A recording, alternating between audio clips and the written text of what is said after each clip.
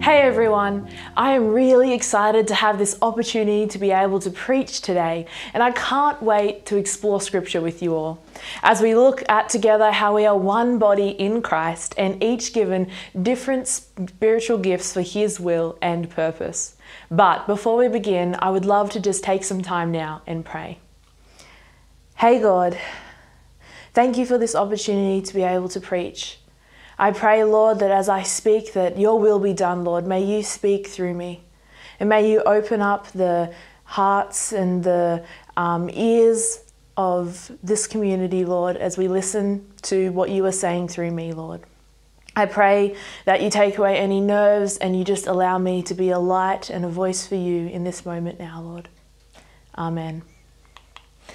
All right, I have a question for each of you, something that I want you guys to be thinking about. Do you know where you belong in the church community? Do you know what your role is within the church, how you are called to serve? I used to think that it wasn't everyone's job to have a job in the church. I thought that there were goers and then there were doers people whose job it was to just attend church and be a part of the community. And then there were people who were called and gifted to run church and run the community stuff. But God actually calls each of us to actively be serving and working in the church. Each of us has a place. And maybe you feel like you can't preach on Sunday, or you can't sing or play an instrument, or you don't know how to run the tech stuff. So there isn't really a place for you in all those jobs that are already taken. But church isn't just about the couple of hours that we spend on a Sunday in the building or online. It's about the people, each of us individually, together as one. We all have our differences, our different gifts and talents, our different lives and ways of thinking, but that shouldn't be something that stops us from being a church family. In fact, it should be what causes us to celebrate because it is because of our differences that we can be strong as a church family. My family is a beautiful group of people who have very different lives, very different interests, and very, very different looks. I have six siblings, and there are a few of us who don't look anything alike. My father is Chilean and my mum is Australian. I have four younger siblings who all look very similar to each other, and no one has ever mistaken them for not being related. They have dark brown hair and tan skin, and they clearly got all of the Chilean genes. Then there is my older brother and I with our light skin covered in freckles and our orange curly hair and then my oldest brother with his light brown hair. And so often, people who didn't know us wouldn't realize that all seven of us are actually related. Something that I will never forget growing up was when in our school years, my sister and I would have to show people our student IDs to prove that we were actually sisters, because otherwise, no one believed us. I went through childhood having to convince people on the outside of my family that we were all related, that we were a family, because we just we didn't look all the same. And this got me thinking about the church as a family. And I feel like we don't really have to convince people outside of the church that we are a community so much because they often see the church services happening on a Sunday and maybe the occasional church event. And for them, maybe that is what it means to be a part of a church community. But within the walls and the family of the church, I've noticed that sometimes we have to convince or reassure people in our community or even ourselves that we belong in this church family, that we have a place, that we have value, or that there is something that we have to offer and that we are just as important when it comes to church life as everyone else. In fact, this is something that people in churches have struggled with for years and years, trying to find a place to belong and feel important in a huge family, which is usually full of gifted preachers and incredible worshippers and amazing evangelists and people who are powerful in their prayers, and many people with many other godly gifts and talents. And Paul writes a letter to the Corinthians who are struggling with this in their own church community. And he is trying to remind them that each of them are one body in Christ, a part of a family together. That it didn't matter who they were or what spiritual gifts they did or didn't have, that each person belonged and each person was valued and important because God created them specifically with their gifts and their skills to use for Him as a part of the body of Christ. And I want to look at that today with you guys about what it means to be a part of the body of Christ with our different gifts and our different talents, why unity and fellowship as one body between Christians is so important, and how it affects and changes our relationship with God and with others. We are going to be reading from 1 Corinthians chapter 12.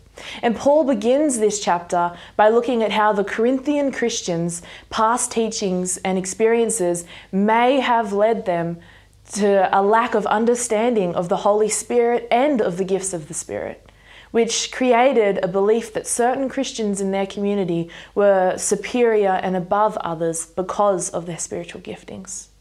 Let's read from the beginning of the chapter. So 1 Corinthians chapter 12. Now, about the gifts of the Spirit, brothers and sisters, I do not want you to be uninformed. You know that when you were pagans, somehow or other, you were influenced and led astray to mute idols. Therefore, I want you to know that no one who is speaking by the Spirit of God says, Jesus be cursed. And no one can say, Jesus is Lord, except by the Holy Spirit. There are different kinds of Spirit, but the same Spirit distributes them. There are different kinds of service, but the same Lord. There are different kinds of working, but in all of them and in every one, it is the same God at work. Now, to each one, the manifestation of the Spirit is given for the common good. Paul is emphasizing that one and the same God is in each of the different gifts of the Spirit. That each gift comes from God, even though they all have different purposes and use, and they all look different from one another. In this section right here, Paul highlights so well the Trinity, how the Trinity is present in the gifts of the Spirit and how it works through those gifts. The Holy Spirit gives us the different gifts.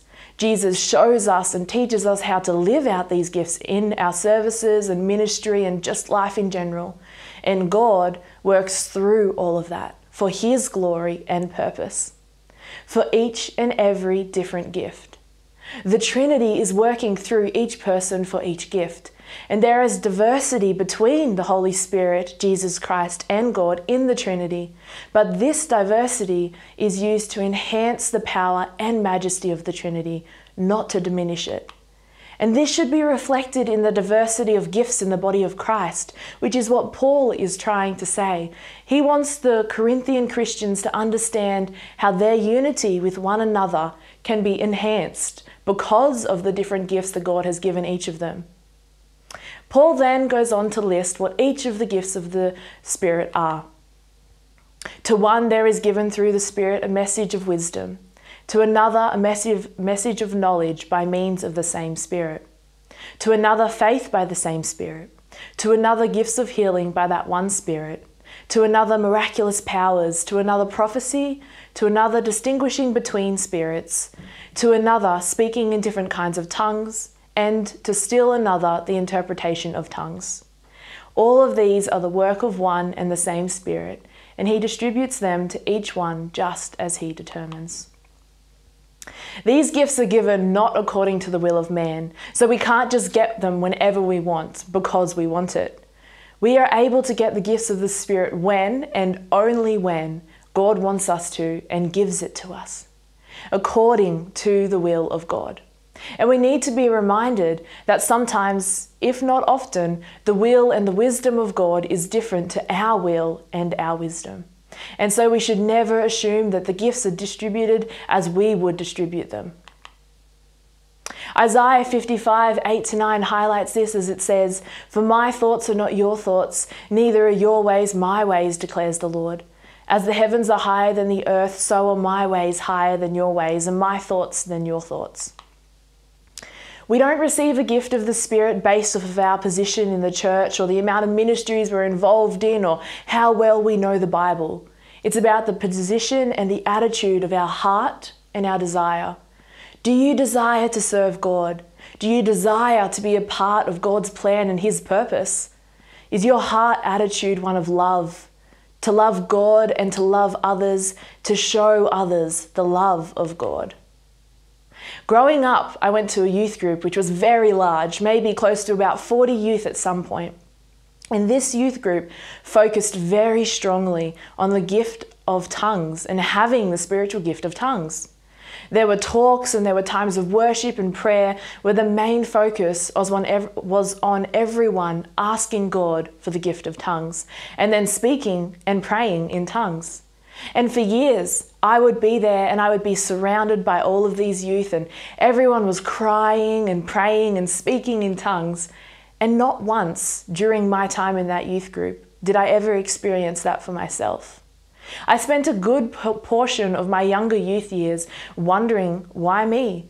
What is wrong with me? Why is God doing this for everyone else? And yet, year after year, without fail, I would stand there praying for and desiring this gift and be surrounded by these prayers and worship, and yet I would feel so out of place. Like it was my fault that I didn't belong. It wasn't until years later that I began to realize and be taught that yes, the gift of tongues is an incredible spiritual gift and an important one, but so is every other gift as well. And instead of praying and longing for a gift so that I could be like everyone else, and because I saw that other people were receiving this gift, I began to ask God for different gifts so that His glory and His plan and His purpose would be revealed through me and the gifts that He decided to give me. And I stopped wanting a gift so that I would fit in and started wanting a gift so that I could stand out. Not so that people would see me, but instead that they would see God working through me through these gifts. And that is when I started to see a change in my heart and in my life. My perspective and my understanding of the different gifts shifted from placing them in a ranking order and looking at and, and to looking at them each individually and important and needed equal to each, each other. Sorry. The gifts of the Spirit are for God's will and His purpose. So then, how do we know if we are using the gifts of the Spirit for God's will and His purpose? Well, Jesus says that when the Holy Spirit comes, the Holy Spirit will testify about Him. John 15, 26 says, When the advocate comes, whom I will send to you from the Father, the Spirit of truth who goes out from the Father, he will testify about me. And not only will the Holy Spirit testify about Jesus, but Jesus also says that the Holy Spirit will glorify him too, because the Holy Spirit will take what is his and will declare it to us. John 16, 14 talks about this as it says, he will glorify me because it is from me that he will receive what he will make known to you. The work of the Holy Spirit through the gifts of the Holy Spirit is not about promoting any one person, but to glorify and represent Jesus. So, when the Holy Spirit is truly at work, it will be according to the nature of Jesus, promoting and glorifying Him. And when I started to ask God for spiritual gifts that He wanted me to have, and because I wanted them so that I could serve Him and give Him all the glory, well, incredible things started to happen. Not only was I witnessing the power of God moving in my life and the lives of those around me, but I began to honestly feel like I belonged and I was connected to the body of Christ. Being who I was meant to be for God as part of the body of the church. Not because I was the same as everyone else, but because I was actually very different and fulfilling exactly what God wanted me to be, what God wanted me to. And I'm not just talking about the big and incredible miraculous stuff that happens, which is amazing and incredible, but I'm talking about me just accepting who I am, accepting my gifts and my talents that God has given me, and using them for Him to draw me into a deeper relationship with Him and to be a part and to be the part that I'm supposed to be as part of the body of Christ. I didn't want the spiritual gifts everyone around me wanted and had anymore. I didn't need to be the head or the hand or the mouth or the body anymore. I just wanted to be part of the body, knowing that wherever I was, I was just as valuable and important as every single other part. And as we continue to read in the chapter in 1 Corinthians, we begin to look at why each of us are given different gifts and how each of us individually are a vital part of the body of Christ because of our differences, not in spite of them. 1 Corinthians 12 from verse 12. Just as a body, though one, has many parts, but all its many parts form one body, so it is with Christ. For we were all baptized by one Spirit so as to form one body, whether Jews or Gentiles, slave or free, and we were all given the one Spirit to drink. Even so, the body is not made up of one part, but of many. Now, if the foot should say, Because I am not a hand, I do not belong to the body, it would not for that reason stop being part of the body. And if the ear should say, Because I am not an eye, I do not belong to the body, it would not for that reason stop being part of the body. If the whole body were an eye, where would the sense of hearing be? If the whole body were an ear, where would the sense of smell be? But in fact, God has placed the parts in the body, every one of them, just as He wanted them to be. If they were all one part, where would the body be? As it is, there are many parts, but one body. The eye cannot say to the hand, I didn't need I don't need you, and the head cannot say to the feet, I don't need you. On the contrary, those parts of the body that seem to be weaker are indispensable, and the parts that we think are less honourable we treat with special honour, and the parts that are unpresentable are treated with special modesty. While our presentable parts need no special treatment, but God has put the body together, giving greater honour to the parts that lack it, so that there should be no division in the body, but that its parts should have equal concern for each other. If one part suffers, every part suffers with it. If one part is honoured, every part rejoices with it. Now you are the body of Christ, and each of you is a part of it. And God has placed in the church, first of all, apostles, second, prophets, third, teachers, then miracles, then gifts of healing, of helping, of guidance, and of different kinds of tongues. Are all apostles? Are all prophets? Are all teachers? Do all work miracles? Do all have gifts of healing? Do all speak in tongues? Do all interpret? Now eagerly desire the greater gifts, and yet I will show you the most excellent way. When we become a Christian and commit our lives to God, there is a cleansing and a renewing, a baptism that the Holy Spirit does in us, and it unites us to the body of Christ, which is also uniting us to one another as believers. And it is the same Holy Spirit that does that to all of us when we take that step, which means that all of us are united together in one body by one Spirit for God. But even though together we are one body, we are not all made up of one part. Because just like a human body is one but has many different parts, so does the body of Christ. And God has put the body together so that all its parts should be equal to one another. If this is true for the body, then that means that this is true for each of us. That God has put each of us together as the body of Christ, so that we are all equal and no person is greater or less than any other. And this body like unity of, Christ- of Christians is not just a goal that we are meant to achieve, it is a fact that we need to recognize. We are one body in Christ. It isn't that we should be or here's how we can make it happen. It's a fact that we already are and that we always will be. There are gifts and talents that we each have that were given to us by God when we were born. They are a part of our identity. An example of these gifts would be some people are gifted artists, and others have amazing singing voices, and some people have a natural ability to be compassionate or understanding. There are many things that make each person unique to the next person, all of which are important and given to us to be used for God's glory and purpose. Then, as we have been talking about, there are also gifts of the Spirit. Gifts given to us on top of our natural gifts by the Holy Spirit that God uses to work through us. And often, our natural gifts and abilities and the spiritual gifts that we are given can work together for God's perfect purpose. God wants us to be asking Him for the different gifts of the Spirit. There isn't just one gift for one person, and that is it all gifts are made available to God's people. But we aren't meant to be desiring or placing one or two gifts above all others either.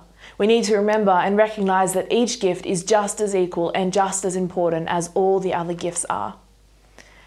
When I think about how we all share one purpose and are all a part of the one body of Christ, but we are all different at the same time, I actually I think of a puzzle. Each piece of a puzzle is different. There are no two pieces that are alike, and yet every piece has its place in the puzzle, a job that it has to do. And one piece cannot perform the specific job of another piece because it isn't the correct shape or color or size. And a puzzle cannot be fully completed unless every single piece is there doing the job that it was designed to do. Fulfilling the role that it was shaped and coloured and specifically cut out and created to do. In order for the body to effectively be a body, it must have the different parts. If a body were all hands or all eyes, well, it wouldn't work very well at all. Not only is diversity in the body of Jesus Christ acceptable, it is actually essential. And as members of Christ's body, we are his hands and his feet and his eyes and his heart. He works through us in the world. We've been looking at the books of the book of Acts for a while now. And as we go through Acts, we see that the, disciples and the Christians were very specific in their commitment to each other. They were so devoted to fellowship. In Romans 12, verse 5, we read, in Christ, we who are many form one body, and each member belongs to all the others. They understood that the parts of the body work together. The eyes and the ears do not only serve themselves, but the whole body. The hands do not only feed and defend themselves, but the whole body. And the heart does not only supply blood to itself, but serves the whole body. The purpose of the gifts is to build up one another and to care for one another, not to flaunt your own spirituality. The phrase one another or each other is used over 50 times in the New Testament. We are commanded to love each other, to pray for each other, to encourage each other and advise each other and greet each other. We're encouraged to serve each other and to teach each other, to accept each other and to honor each other, bearing each other's burdens and forgiving each other and submitting to each other, to be devoted to each other and more. Being a member of the church means being a vital organ of a living body, an indispensable, interconnected part of the body of Christ. And for the parts of your body to be able to fulfill their purpose, they must be connected to the body. If an organ is somehow taken from its body, it will die. It cannot exist on its own, and neither can you or me. Our spiritual gifts are meant to be used together, not as not against each other and not alone. And when we struggle with fellowship with one another, when we fail to be one body as a church, it affects our relationship with God. Our individual, personal relationship with God is affected when we are not in unity, when we aren't one in the body of Christ. And just as we are all different in our gifts and talents, so does a body have many different parts. But just as each part of the body is important for different reasons, so are each of us. And in fact, it is our differences that unite us, bringing us all together. It is because we are different that we are all needed. God wants all areas and bases covered, and that can't be done with people who are all the same.